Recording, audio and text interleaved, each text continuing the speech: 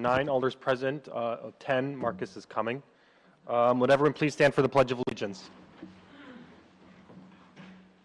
I pledge allegiance to the flag of the United States of America and to the republic for which it stands, one nation, under God, indivisible, with liberty and justice for all.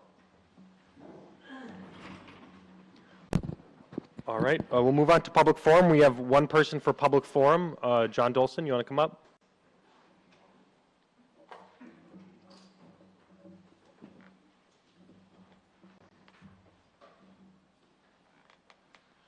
Thank you. My name is John Dolson. I live at 409 New York Avenue. Um, Moved here in 95 and lived at 324 Wisconsin Avenue. And liked the area so much, I was renting at the time, so we bought in the Ellis District. And we've noticed the problem of animals getting into garbage since the week we moved here. Um, And I think it's more prevalent along the lakefront with the seagulls um, and garbage is strewn about. I've shared pictures to um, Mary Lynn and the mayor and others throughout the years, and then you can see it yourself when you drive around. One of the problems is that in this area, there are a lot of tenants, um, and if the garbage is picked through by animals, the next day, the renters aren't cleaning up the curb. Um, If you own in this area, obviously the next day or two after garbage day, and if your garbage is picked through, you go through and clean up the mess, and sometimes it's, it's a huge mess. Raccoons get in there if you're a shift worker and you're putting your garbage out the day prior. You can do it after 5 o'clock the day prior. Unfortunately, a lot of them don't abide by that, and they put it out three or four in the afternoon, add a couple hours. But through the night, raccoons get it, birds get at it, cats, dogs, whatever.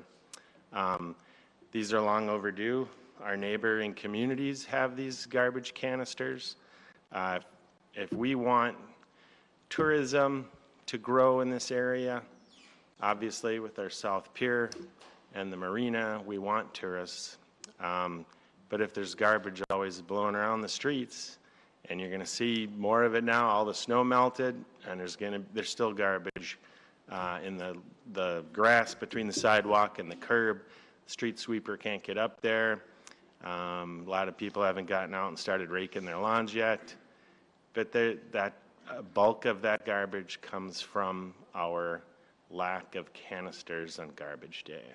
So that's all I have, and I hope you vote to instill these. There's going to be cost with that, but we can absorb it either as, we, we absorb it when you redo our sidewalks in front of our homes or curb and gutter, build it into our tax bill, whatever, but it's, uh, it's more, it's a fee or whatever you term it that I'm in favor of because it's going to make Sheboygan better. So thank you for your time.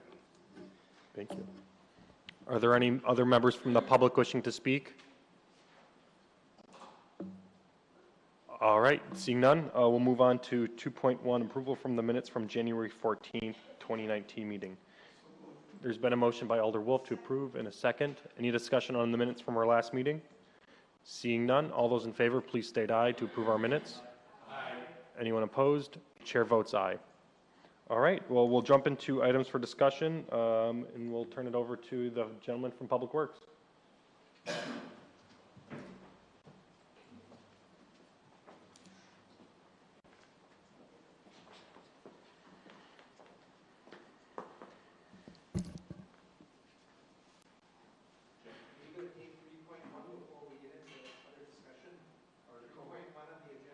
Yeah, we're gonna just do the presentation first and then we'll Well, thank you, Chairman. Uh, David Biebel, Director of Public Works with the City of Sheboygan, and I have with me this evening Jason Blaziola, our Street Superintendent, uh, Streets and Sanitation Superintendent, and we're going to give you a presentation of kind of where we've come from in the past with our garbage program, some of the challenges that we have, and what we're proposing to move forward for the future. So with that, I'm going to let Jason kind of lead the discussion, and uh, we're going to tag team it tonight. And Uh, I think the chairman asked if, you know, during the presentation, if you have a question, just raise your hand so then we can answer it during the presentation, not that we have to go back after later and, and uh, backtrack, in other words, if that's all right. Thank you. Good evening. Again, my name's Jason um, with Streets and Sanitation. So we've been cleaning out our, we've been cleaning out our offices, and I found a brochure that we had from probably the 1950s when we changed to single can for burnable refuse and non-burnable refuse. So we've been going through changes in sanitation collection for quite some time, so this is just the, the latest and the newest. Um, So our current trucks are at the end of their life, and we're going to need to replace these trucks, uh, regardless if we move to an automated collection system or if we continue collecting manually. Um, Manual collection, we're one of um, two people, one of two communities that are still collecting recyclables and bagged. All the other communities within the state are using a cart to pick up the recycling. Um, So we're looking to convert to an automated cart base for the residential curbside collection. And most important to me, it improves the worker safety. We'll talk a little bit about the, a lot about the worker safety and the job satisfaction and the convenience for the residents, along with the aesthetics.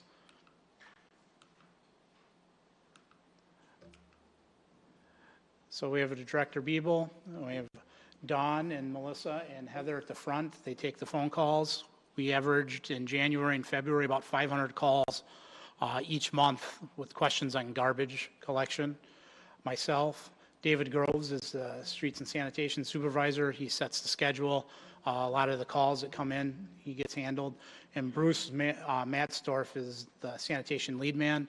He's the one that actually goes out and deals with this, deals with problems that arise and deals with the consist- constituents with any problems.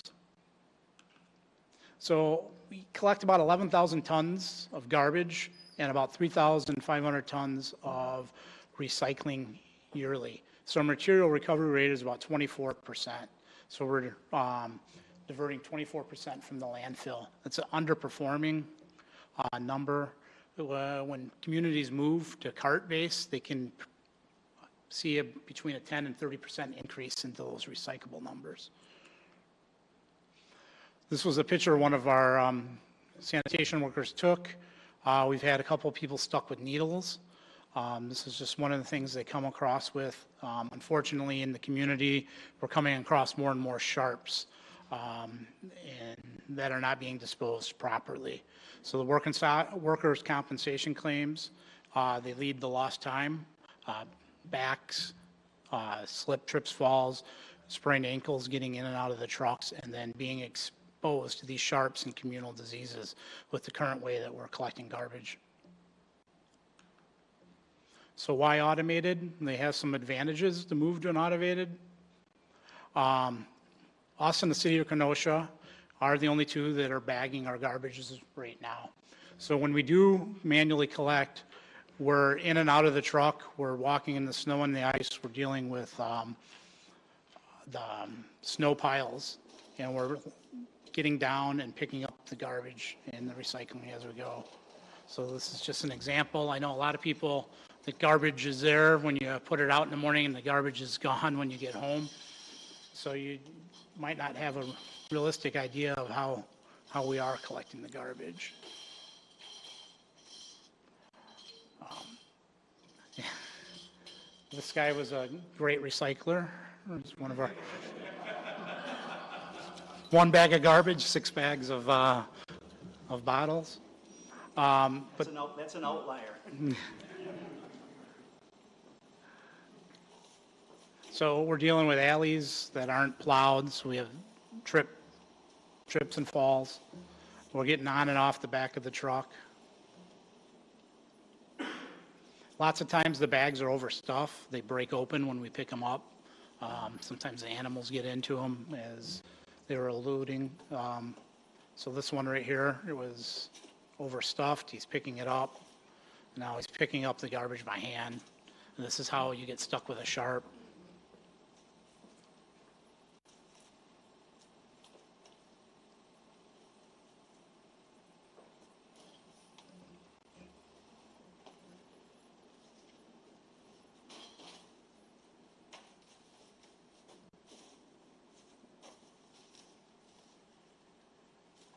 Right now, we don't have a limit on the number of bags that you put out. So as you see, there's a lot more garbage than there is recycling. Uh, When you move to a cart-based system, you have a limited amount of real estate, so it forces you to move into a recycling, because you're going to need to recycle to keep your garbage in your bag space. Um, I'll try going on to the next one, I think we have the idea here.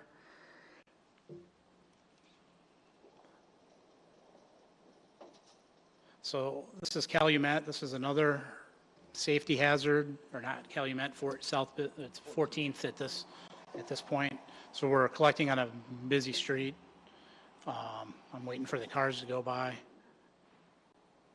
Currently, our ordinances call for us to shovel out a pile, so we don't have to climb. Um, This is one of our workers, John Burkhart, he came today, he came to the last meeting also. Um, So you see the kind of stuff that we're dealing with, climbing up and down the banks and the cars going by you. So it really does put our employees at risk collecting garbage manually.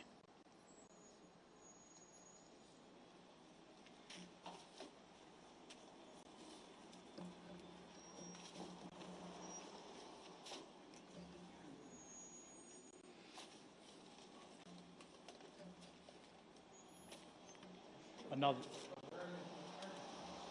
well, they should have been shoveling out all summer, or all winter, and keeping a spot. Uh, There could be other areas they can collect on this end, but technically, we're not supposed to, our employees aren't supposed to be climbing up the snowbanks. What's that, the dri- driveway? So the material, Wisconsin material recovery facilities are banning bags. Um, So I went down to Waste Management, they have our current contract. The way the recycling works is they dump it onto a floor and they load it into a conveyor belt. And everything that comes from the city of Sheboygan and the city of Kenosha has to manually be ripped open.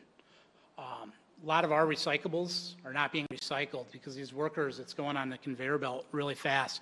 They're giving it one rip and they're shaking it out in the conveyor belt and there's a shaft that goes down into a dumpster and they're dumping out the recyclables and they're throwing the bags down.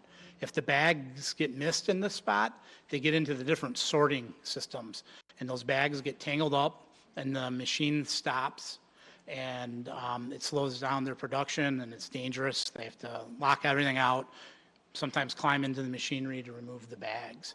So all the material recycling facilities in the state of Wisconsin are, they do not want recyclables collected in bags for that reason. Um, Some articles that, um, I know the New York Times article, there was an article in the Sheboygan Press, Waste Management starting to um, going to start fining and charging more for communities that have a lot of contamination in these bags because it really slows down their process. Um, It's really neat going to see it. They use fiber optics uh, with the plastic, with shooting rays of light, and then they'll have um, uh, clearer plastic, have a shot of air, move it out. For uh, multicolored plastic. They'll use weight for the cardboard to go up.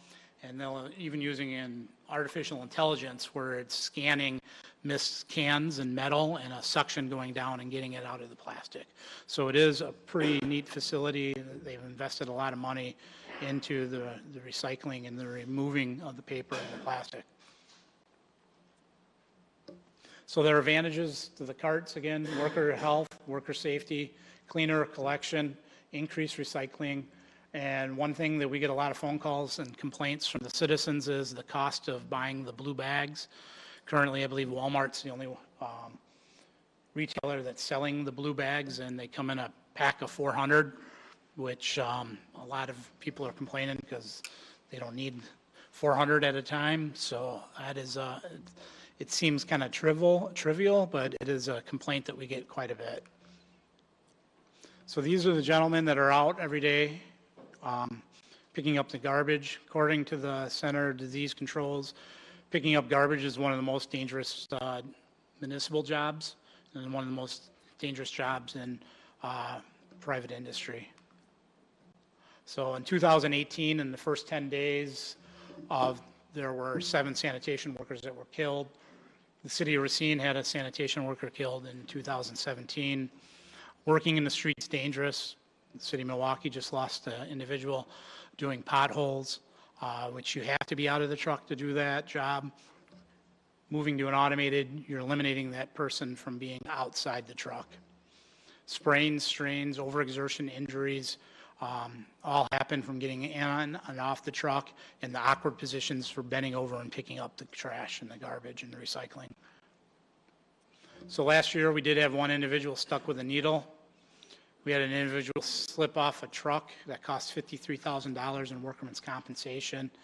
We are lucky on the slips in the ice and the lower back strains, but those could be um, more, uh, lots of times there's broken glass in the bags that protrude, and when you're picking them up, they catch, mainly it's the guy's shins that get caught, um, and the forearms sometimes, so getting cut is also, um, happens quite frequently. Keeps a cleaner collection, the lids keeps the materials contained, uh, more room for recyclables.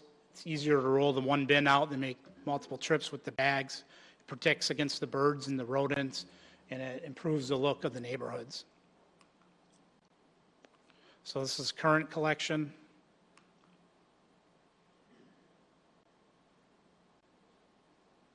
So this is 25th Street in between um, Superior and Kohler Memorial Drive. I stopped.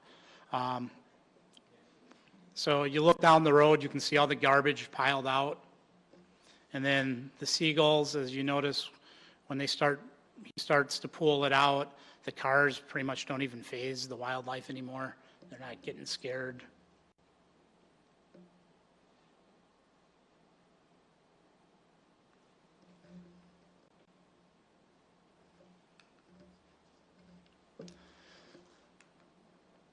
So I tried to find some other communities that collect. This is an alley collection in city of Milwaukee, similar to the collection that uh, two individuals were doing in the alley with the snow and the ice.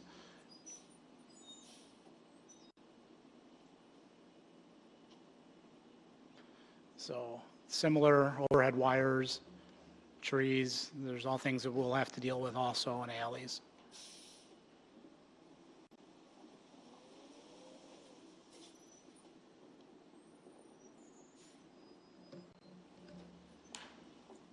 If you notice, the, when the arm collects, it pulls it back, and when it tips, it's very low. It's, it's, it doesn't, it's not like your front end, uh, system where it's picking up a dumpster and raising it high over it. It's nice and tight next to the side of the vehicle. It's got a short reach and it dumps it right in. So that's one of the advantages, again, is that they've, they've designed these vehicles to actually pick up in these tight areas such as alleys.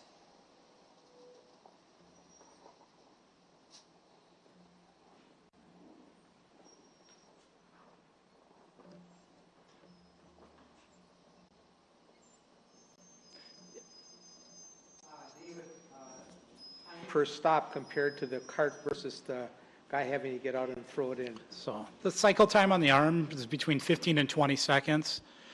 As you saw in the video, our guys are really efficient. Um, But then you come across some really big ones where it's all spread out, that may stop them.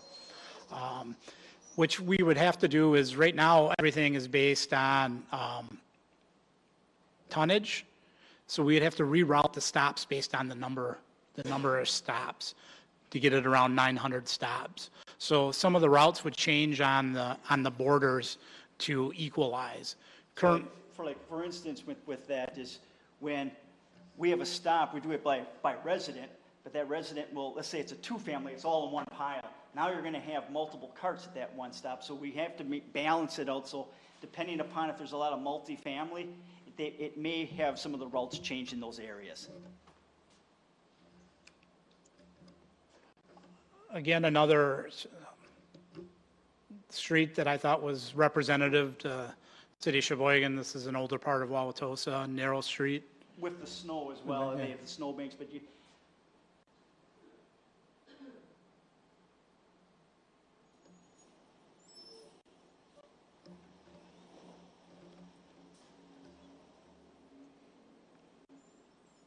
So this driver is actually placing the carts back out of the public right-of-way. This one, he tries to get over onto the sidewalk, but he accidentally topples it.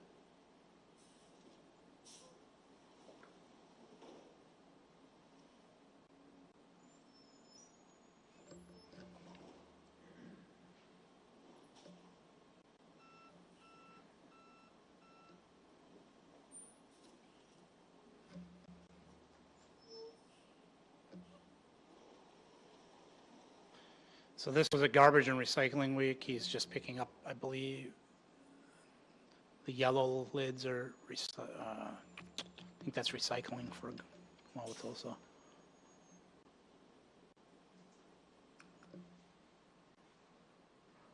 So carts using automated systems, they typically increase recycling, according to the Recycling Partnership of America, between 10 and 30 percent from leaving bags and going to a cart-based system. So we had uh, hired Foth Analysis to help us with this. They came up with a couple different options for us. Option one is to maintain the current system. It's a 60-40 split, rear load, two-person crew, manually loading. Garbage and uh, recycling would be collected weekly. The advantages, it's already in place, there's no transition to a new system. Citizens are already familiar with the process, it's the easiest option. Advantages, it's a less safe method of collecting solid waste and recyclables, most prone collection method to creating litter, least appealing aesthetically, requires two employees. Our current program is underperforming with the recycling, and the recycling bags is an added expense for residents. And as I stated earlier, the material recycling facilities are banning the bags. If we go out to RFP or bid to collect, um, to tip, excuse me, to tip, there's going to be a surcharge on that. Those waste is going to charge us more because there's going to be more time involved with them ripping them off. And also, I found out after the fact that um, other counties wanted to bid on our recycling last time that Waste Management uh, won the bid, but they did not due to the fact that our garbage is recyclable, or our garbage is bagged. And those counties that ha- own their MRFs didn't want to bid on ours because they didn't want to deal with the bags. So it's going to limit who bids for our tipping on the recyclables. Option two would be a city-owned trucks and carts, single compartment automated side loading trucks, one person fully automated with carts, weekly collection for garbage, bi-weekly collection for recyclables. Um, We'd look to implement sometime in May or June of 2020. Advantages, again, most important to me is the worker health and safety. Uh, Can reduce the workers' compensation costs. The convenience due to the standardized carts, it's cleaner collection, increase in recycling, less wildlife interference, reduce exposures to communal diseases for our employees, and a residential satisfaction. Disadvantage, there's a higher truck capital and maintenance cost. Uh, The cart capital and maintenance cost of the carts, the storage of the carts. Um, And then we're going to have to go through and look at the routing and make sure all the overhead obstacles and trees and the alleys and the, and the, and the s- narrow residential streets. So how would we implement it? We'd have four daily garbage routes and two daily recycling routes. So this is the question that I get the most. So the four garbage trucks, we'll just say Route 1, 2, and 3, and 4 would go out. And then on one week, routes 1 and 2 would get their recycling picked up. The next week's Route 3 and 4 would get the recycling picked up. Um, A lot of the municipalities, they call it an A week and a B week, and you, you work with your GIS where you type in your address and it tells you what day is your collection and whether you're an A week and a B week. And then you go to a map and it shows which weeks they're collected. Um, We would need to purchase seven trucks. That would be one automated truck. The six would be being day, uh, used daily with a budget cost of around $2 million.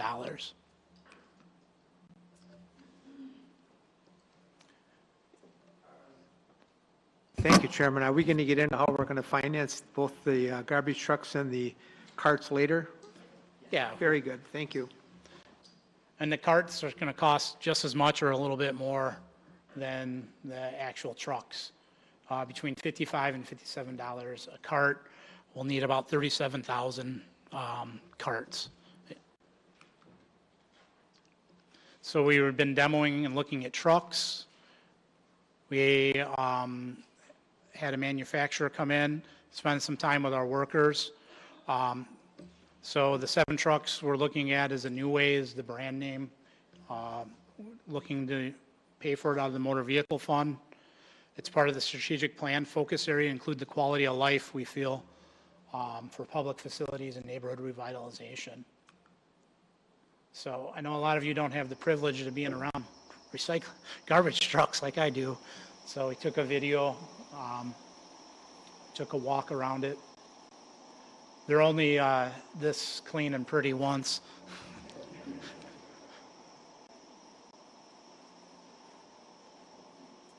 They are a little bigger than our current trucks.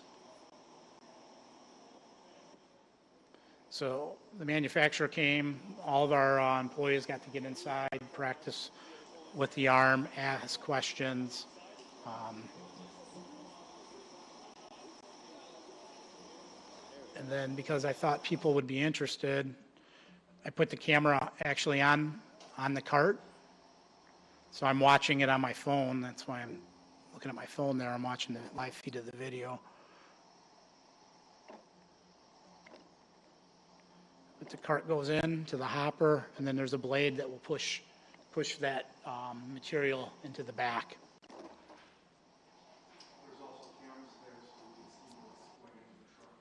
Correct. So if there, uh, thank you, John. Yeah. So John was in the, in the, sorry, John was in the truck with the manufacturers, seeing how it works. So if there is a large amount of contamination, we can note it so that we know that the, the lead man or I or supervisor can come back and put a oops tag, they call it. You, you made a mistake. And then if it continues, then we can, um, work within the ordinances to uh, not pick it up and cite, cite the individual.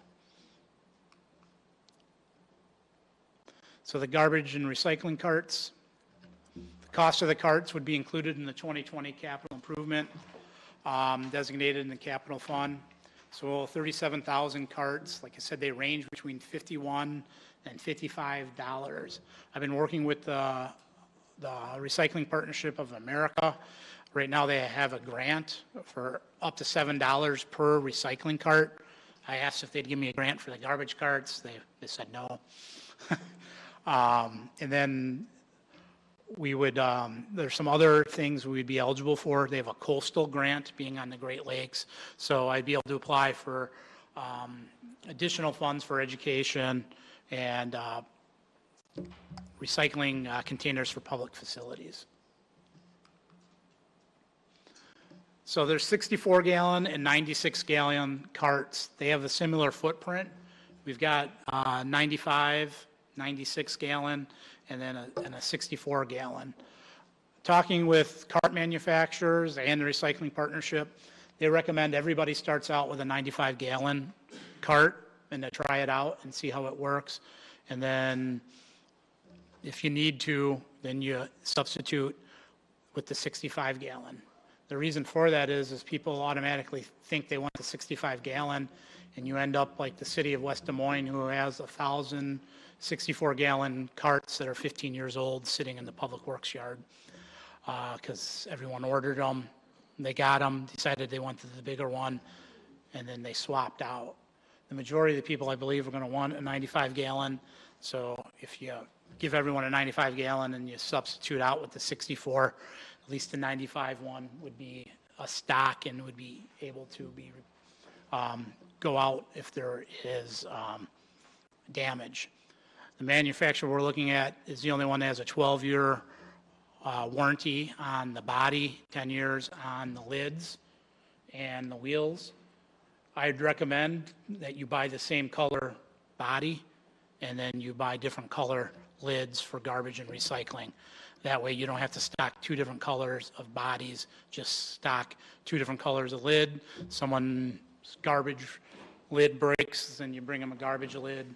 You know, if their body breaks, then you just have one body and you don't have to have a, a black body or a green body or, or whatever colors that, that we decide. Um, This is Toter that we're looking at with their manufacturing, their rotary mold. So they're, they were a Rubbermaid company. So there's Rubbermaid tubs and then Sterilite, which is the harder plastic. This would be like a Rubbermaid tub. The other major manufacturer is a little more brittle. Um, It's like the Sterilite tub. They have a 10-year warranty. Because of the manufacturing process with this, this is the, one of the carts where you can use recyclable material and it doesn't necessarily affect the, um, the quality or the warranty. So it's a 12-year um, warranty on the body, whether it's 50% recycling down to no recycling, or some of the other manufacturers, you get into higher recycling content, and then the, the quality isn't there in the warranty. They don't warranty it much. So, as we talked earlier, basically our routes are broken down by structures. There's 15,000, I'm having a hard time reading, 50 about 15,000 structures in the city, but 18,397 residents. And that's due to the single-family versus uh, duplex, uh, three-family and a four-family. So we would have to change our routes because of the time it takes for the arm to go in and out to route them based on um, household versus structure. We've already identified about 387 stops. It would be a challenge for the new trucks. Um, A lot of it's doing the backing them down an alley with one individual, and then collecting one side, and then pulling out, then pulling in, and then backing out on oncoming traffic. Um, There's probably going to be a few more stops that we're going to add to this. Uh, But the vast majority of them are going to be able to be picked up from the curbside or from the alley with the automated arm. So we have a couple of different ways that we can um, address these problem areas. One is called semi-automated collection, and that's where you put a flipper on the back, and the worker does move the cart to the back, flips the garbage in, and then uh, puts the cart off to the side and moves on. The other way we could do it is two individuals could take the spare truck out so you have a spotter, or they park the truck and they move all the cans to it and dump them in in some of those tight areas. Long-term, parks is collected manually. We have a smaller park truck. I think when that park truck is at the end of its life, we look at buying a smaller automated truck that can get into those alleys and do a, a three-point turn and go up and down. And then that truck would be used for the, it's probably going to be, it's 380 stops now. I'd say probably 500 weekly stops. Um, And then that truck would be used for picking up park garbage and for some of these challenging spots um, when that truck, when that park truck's at the end of its useful life. So I, I admit that there are some areas that are going to be challenging, but I think we'll be able to handle it. Uh, With 18,000 stops, three to 500 isn't a large amount to deal with on a weekly basis. Option three would be to contract. Um, And then it would be pretty much similar to the option two, uh, one person. Uh, Talking with consultants, they recommend that the city still purchase the carts. And the reason for that is, is if you change vendors and they own the carts, then you're going to have to manage them picking up their carts and with the new contractor delivering the new carts. Where we own the carts, we own that process, and we have a little bit more control over it. Some of the risks of private, um, after the first five-year term, lots of times you're seeing the competitive pricing goes up quite a bit. Uh, When the cities get rid of their, their employees and the equipment, it's hard for them to get back into it. Um, You also go from a service, managing a service, to overseeing a contract. So today, our garbage men tagged a resident, she had paint out, and it wasn't done properly. The garbage men tagged it, for him, left it there, and the lead man gets involved. He goes, explains what she did wrong, and he ends up taking it. And actually went into her basement and took like six bags of the paint, which normally we don't do. And I can tell you a contractor isn't gonna go that far and do that. Lots of times we get the calls, you know, we'll put a helper truck out in clement weather or we have mandatory safety meetings. So instead of the four trucks, we'll put a helper truck out and that truck will get 25% of all the other routes. So your garbage is normally, your garbage guy is usually there at 11 o'clock every day, so you don't put your garbage out to 10:30. There's a helper truck. Your garbage man comes by at 9 o'clock. We get the phone call, he didn't pick mine up, we, we missed it. We all know that we didn't not pick the one up, but we go back to make you guys look good. And we go back and we pick it up. And that's the kind of service you do get with the city-provided garbage collection. Kohler is the most recent contract that went out in our area. They came back at $11.70 uh, for garbage and recycling. So that, that's guaranteed for the first one to two years, and then it will go up in years three to five uh, with the CPI. And then they have surcharges for fuel and other things that can add to the cost of collection.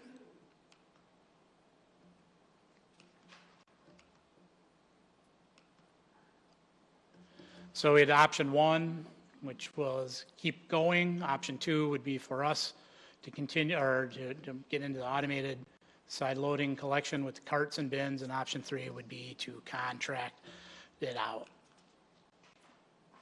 So the FOTH analysis, which is hard to read in here, uh, was about $9.08 to continue going on, $9.43 for us to go in with biweekly collection for the recycling and weekly collection for the garbage. And then option three, um, $10.41 was based on 2018 data, talking with a local hauler. Um, It wasn't a bid, or wasn't um, a, con- wasn't a competitive bid prices. So they basically came out down to $6 um, per household to pick up, and then adding the cart cost onto it. And that's how they got to the $10.41. So, yep. Chairman, uh, Jason, uh, something that you and I talked about, just so uh, we understand, is that this bid for the contractor included picking up the recycling every week, where we're proposing picking it up every, every other week, so there might be a slight difference in the 1041 because of the added service. There could be, uh, you look at the Kohler one, which is the most recent, and that's at $11. Talking with the consultants, he doesn't think the $6, they could do it any lower than that. And like I said earlier, a lot of these manufacturers, or excuse me, they're not manufacturers, hauling will come in at a low price, and then after you're in is when the price is increased dramatically. Um, Right now, waste is our tipping. They do a lot of commercial pickup. They do not do a lot of residential pickup in the city. Uh, Advanced is the main one, and they're pretty much the only player. When you get into Harter's, is in the western part of the state. Um, Johns is more southeastern Wisconsin, and um, Waste Republic, and has not moved up into this area very much either. So we're pretty much going to be relying on one, one hauler in the Sheboygan area. So if we went forth, we'd purchase the trucks, we'll roll out an implementation plan in 2019. In January of 2020, we would purchase the carts, um, and then we would start in May. I did talk with actually Waste Management. They did recommend that you start in June and not May. They said it's, sometimes when you start in between Memorial Day and the, or excuse me, July is when they recommend the first uh, full month without a holiday. I'm screwing that up, I'm sorry. June 1st, they said wait till after Memorial Day, so you have a full month of June before the 4th of July holiday. So lots of times if you start in early May and then you have a holiday, people are learning the new schedule and everything gets shifted by a day. So uh, the trucks do take about nine to 10 months, so that's why we'd buy the trucks this year. The carts take six to eight week lead time, so you'd be able to purchase the carts in January of 2020 and have them here in enough time. So the option costing again,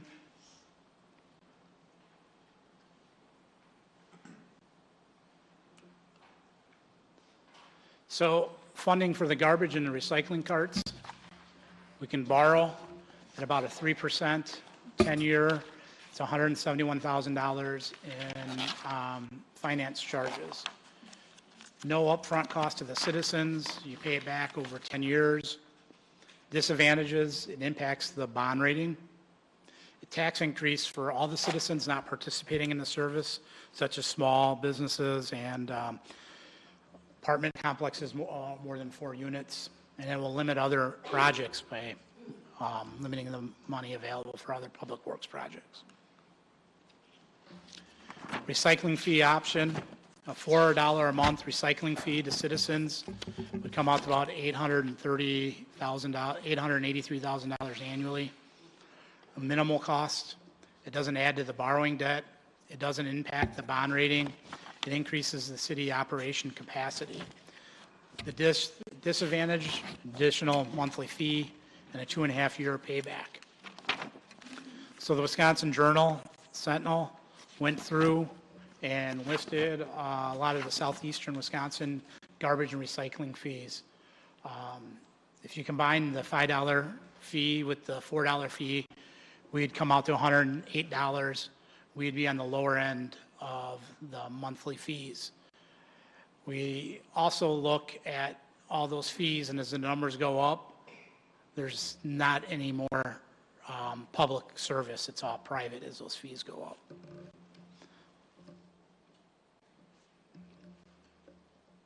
The average was 170 when you averaged out all those communities of uh, annual fee for garbage and recycling. So the department, um, the um, city puts out a survey too, I forgot to mention, asking for feedback from the citizens. In the last two years, there's been quite a few uh, responses from the citizens asking for carts. So both the citizens and Department Public Works believe that Sheboygan should move away from manually collection and move to a cart-based system. The department recommends implementing the $4 monthly household fee.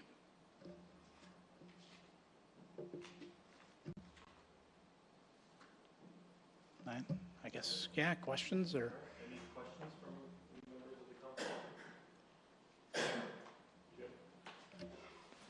Chairman, uh, Daryl, I had some discussions with you a few days ago about your funding options for both the carts and the trucks, and I believe you told me you were looking into a lease program on the carts along with the grant funds that Jason talked about. Have you got any more information on that? And you were saying something about we would get a more favorable uh, rate because, because of being a municipality? Uh, Yes, uh, what you've identified is, is correct. Uh, I think Jason alluded to the fact that the capital, capitalized costs associated with the trucks, uh, because the city anticipated this discussion point. Um, I think five of the trucks are included in the 2019 budget. Uh, We would look toward the fund balance within the motor vehicle fund for the remaining number of trucks. Again, seven, uh, which includes one spare. For the carts themselves, uh, uh, worked with Finance Director Halverson, worked with uh, Mr. Biebel and others, looking uh, what other funds within the city we could tap as, as an advance to pay for the capital costs associated with the carts.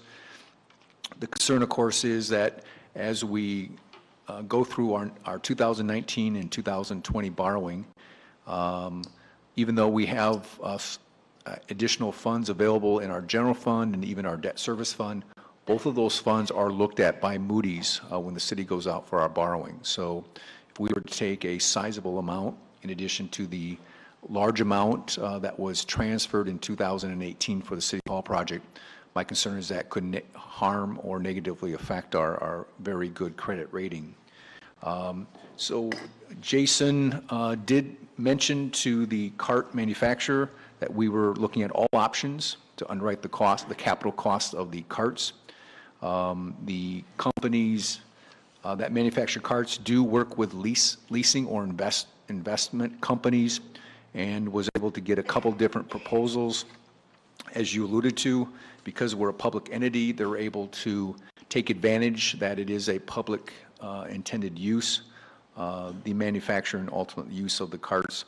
And so we're able to take advantage with roughly an eight, with roughly a 4% interest rate uh, if we're looking at a lease period of, of 10 years. So 10 years, and then we would purchase the carts for a dollar or 50 cents, some, something nominal. Uh, So the, the calculations uh, that uh, Jason uh, put together and presented to the Public Works Committee, the interest rate is a little bit higher. I think he had 3% versus 4% that he was using on his calculations. But the $4 um, would be close to covering the actual cost. Uh, The advantage of going the leasing route um, is that uh, we would not have to report that as debt uh, to Moody's, uh, so it would not appear as it's, as if it's an additional $2 million of outstanding debt. Uh, So again, every little bit helps uh, as, as, as it pertains to trying to retain our, our, again, very favorable credit rating. Just to follow up, if I may, and then on the, on the garbage trucks, uh, the, uh, the plan for that is to take that out of the, uh, take the majority of that out of the motor vehicle fund, is that correct?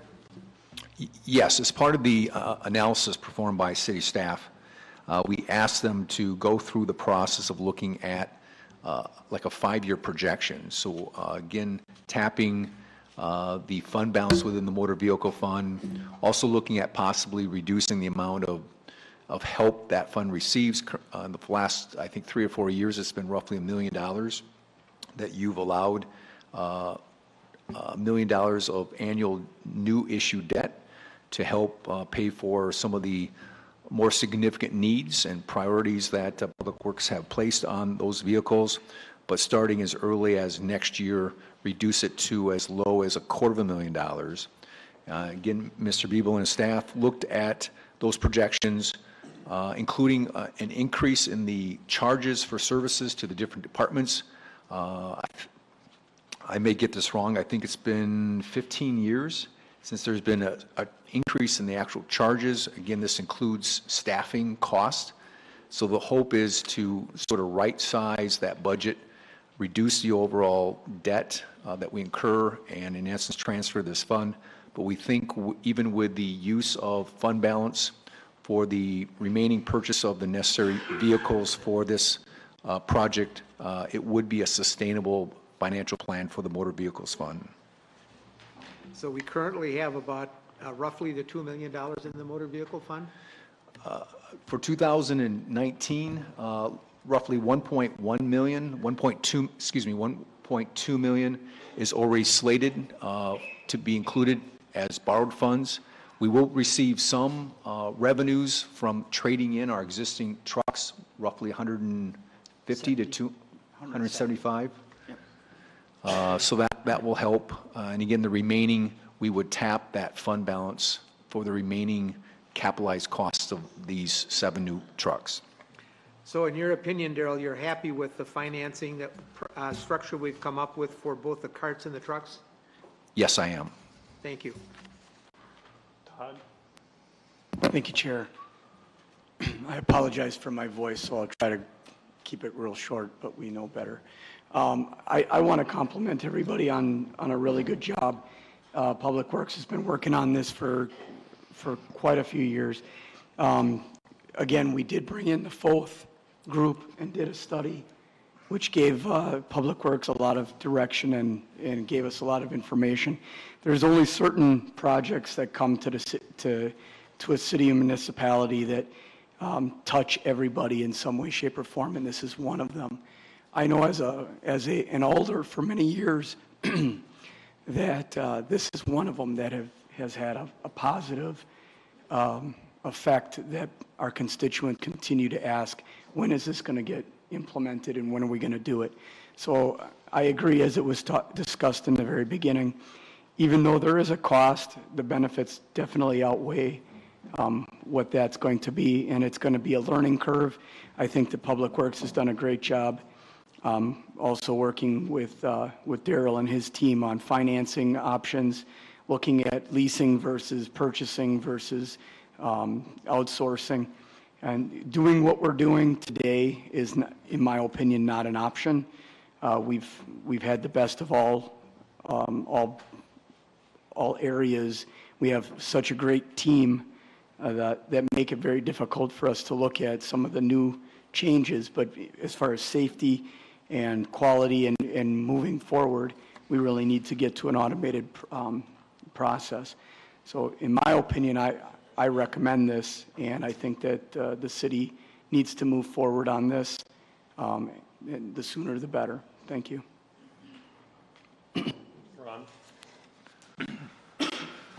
I also, my two years on the council, have heard nothing but complaints about our current garbage pickup situation, and I'm looking forward to this type of a system, which certainly is necessary.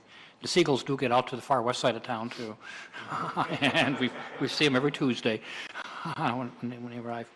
There are um, a number of issues uh, concerning placement of carts, concerning lost carts, and how do we charge people for them, and those kinds of things. I'm assuming that Public Works will continue to work on those issues if we do decide to go, to go forward, or if you've already done some planning on some of those things? Yeah, yes, and, and, and we have a full implementation plan as part of probably the next big initiative that we're going to be working on once, once we get a decision on if this is the direction we want to head. That's going to be, what we're going to be working on is an information education program, as Alderman Wolf mentioned. This affects everyone in the community, so we really need to get the message right, and we need to get that out to everybody. So we're going to be looking at multiple different ways, neighborhood meetings, uh, with the, the neighborhood associations, outreaching with some of the, the- the rental properties and, and the landlord associations, as well as just the residents themselves, and giving that type of information, where to place the cart, what day you're going to do it, and so forth. So, yeah, that, that will be a, a- a big, a big program that will be forthcoming. Anyone have any other questions for Public Works? Mary Lynn? Just a question, uh, are we saving any labor costs?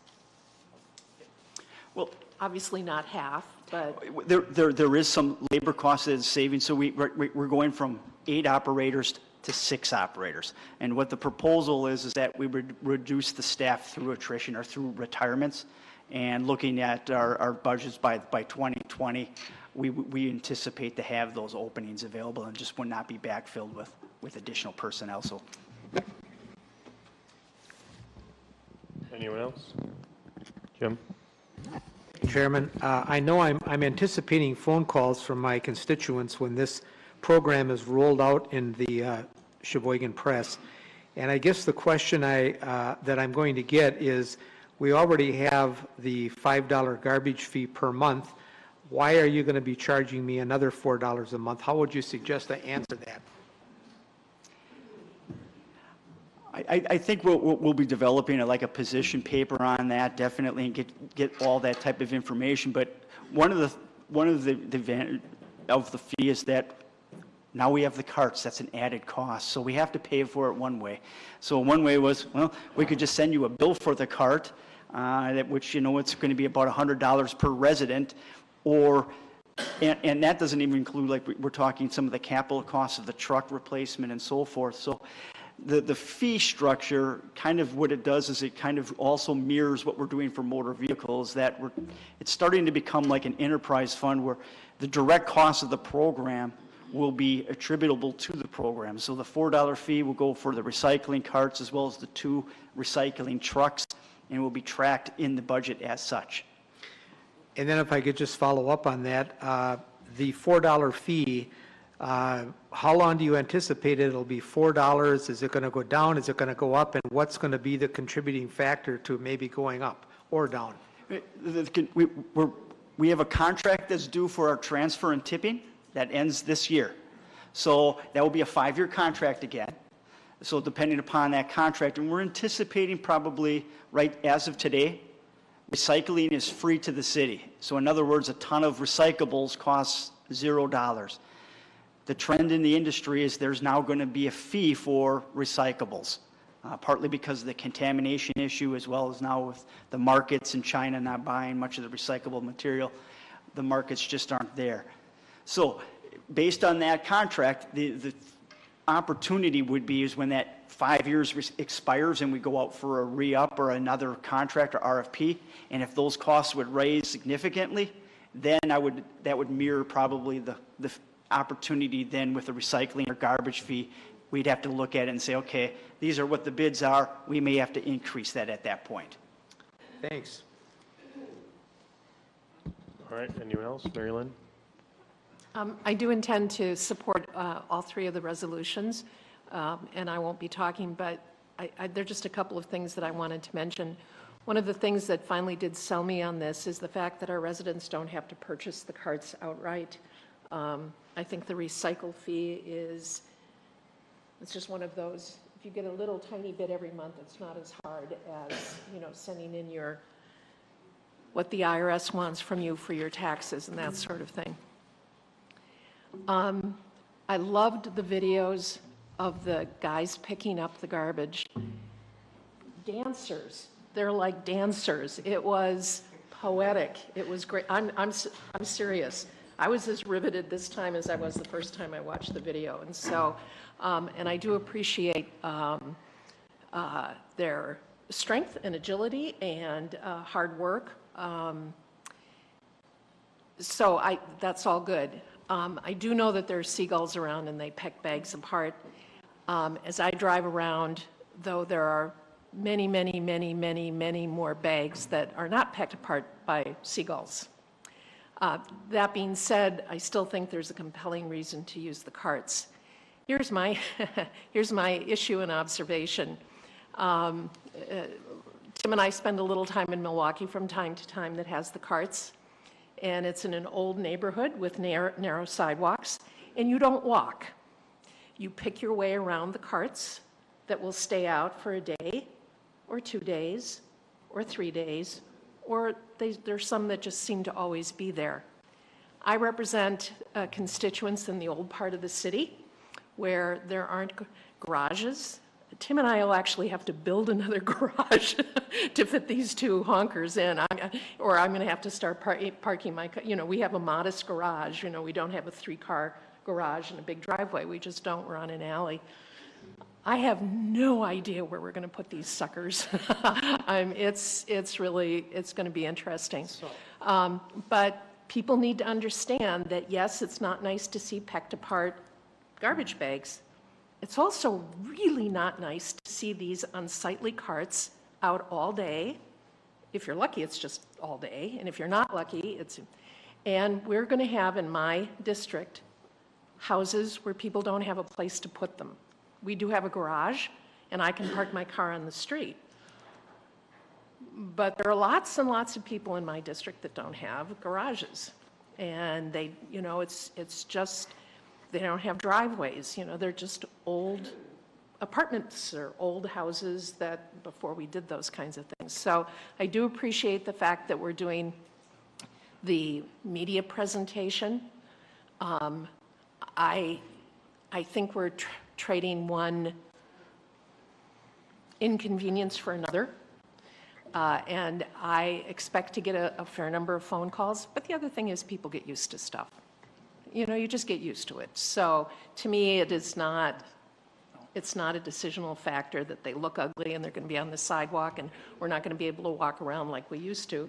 Um, Because people will get used to it and will enforce things and so forth. So I just, and I only say all of this in this long speech is to say, this is no panacea. This is no wonderful way that we are improving our community.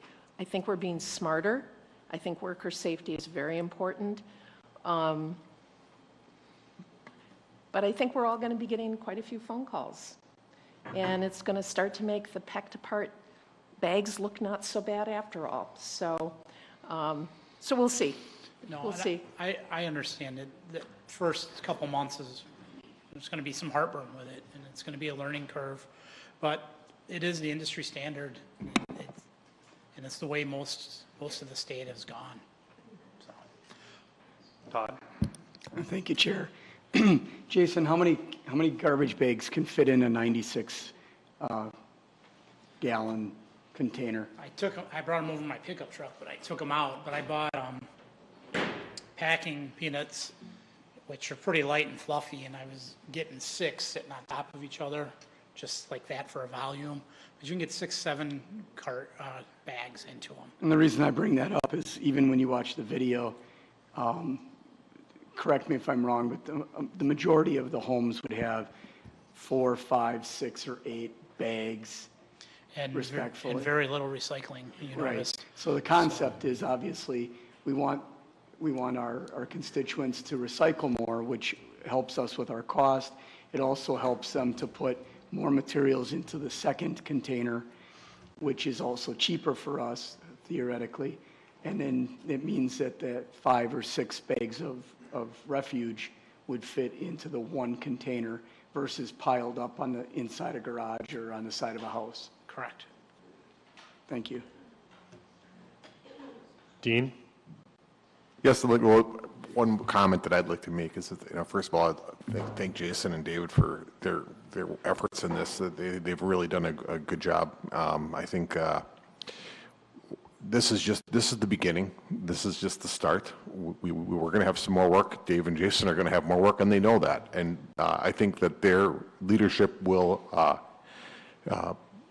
bring us through on this, and I think, you know, we're, we're going to have to make, there's going to be some uh, ordinance changes that are going to probably have to go along with this, and, uh, uh, but I, but I think this is, this is the way to go. I mean, even if we didn't, even if we went, tried to go with the bag system, we would have to do something different with our recyclables anyways. There's no way we could stay with, the from what everything we've been indicated, there's no way we could stay with the current bag system with our recyclables. So we would end up with a cart for just our recyclables. Well, now we're halfway there already anyways. Why don't we complete the job?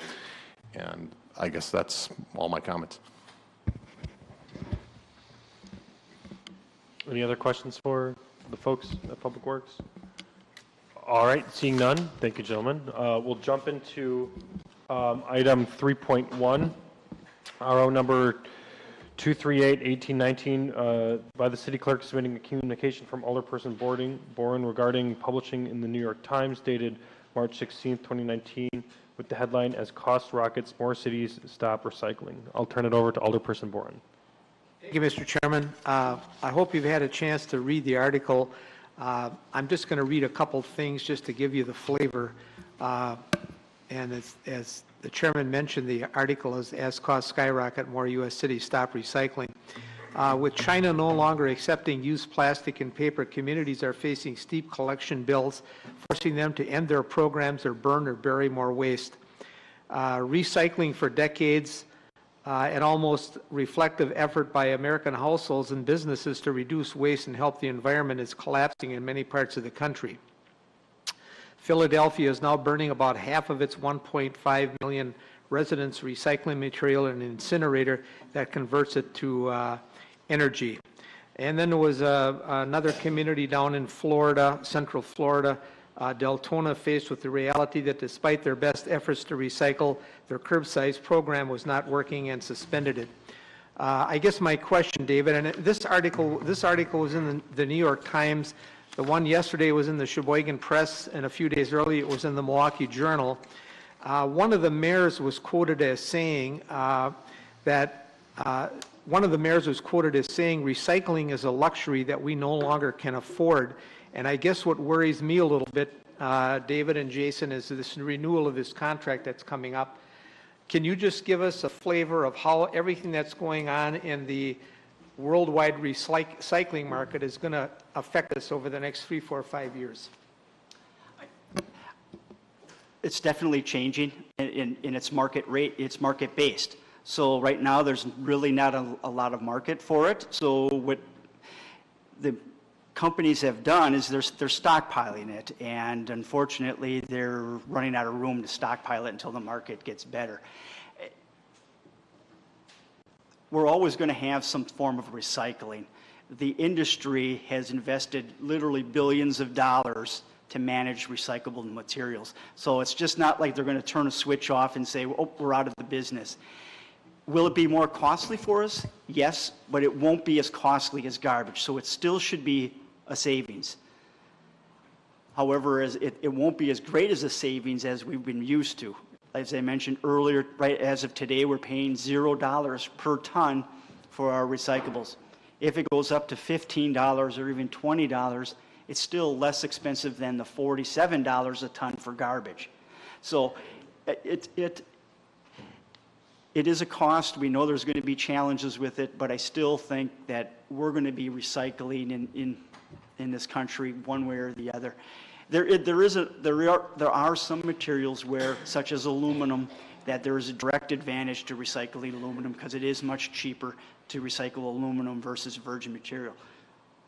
Other materials, however, that's not the case. And so some division, decisions will be made on a longer-term basis on, does it make sense to recycle some of this material or not? So that will be the key, and there's, and there's a lot of legislation in place right now that would need to be changed in order just to start banning materials or getting out of recycling completely. And then if that would be the case, I think then you'd have the industries and the lobbyists coming at them saying, hey, we, we just invested billions of dollars on the premise that this is the law, this has to be managed in a certain way, and now you're changing it. So I think it's not, it's, it's not a matter of, you know, a snapshot in time as today. It, it's going to take, as it, as it took to, to get recycling in place to where it is today, it took us about 25 years. It's not going to go away that quickly. It's going to take some time if it would be changed and go away over time. Mr. Mayor? Thank you very much, Mr. Chairman. I had a conversation with Jason, and, um, you know, I read some articles about many of uh, the communities are going back to dual-stream recycling so that the products that end up being recycled are more virgin and, and and cleaner. And uh, Jason went and checked with some of the companies in the area, and he said, Mike, they're not going to make that change to, to that for the foreseeable future. They've invested so much in the dual stream recycling MRFs, the material ref- recovery facilities, that that's not going to happen for a long time.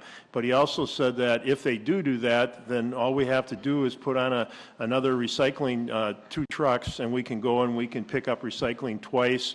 Uh, um, you know, one time it would be for the paper and cardboard, and the next time it would be for the, the cans and bottles. So we, we can adapt to that if that's the way they go in the future, but it's not something he feels we're going to see in, in the near future at all.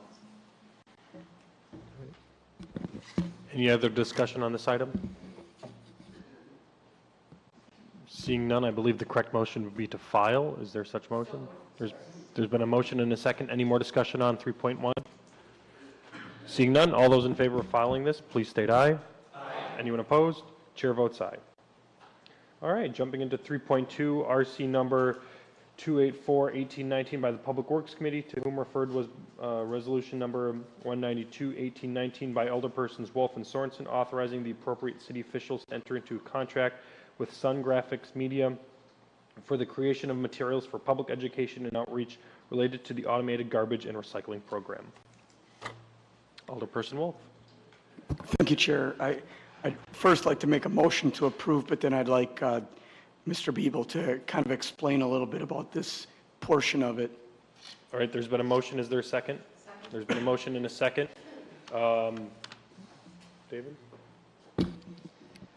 Sure. What, what- what this portion would be is we'd work with Sun Graphics to develop our information education uh, program that we are anticipating with this pro- process. As we all mentioned earlier, this is going to impact everybody in the community.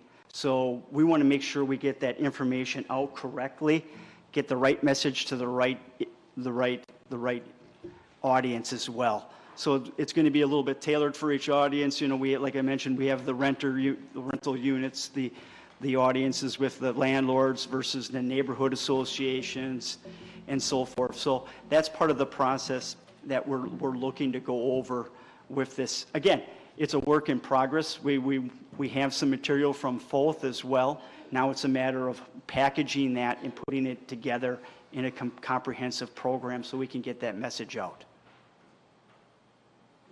Marcus? Thank you, Mr. Chairperson.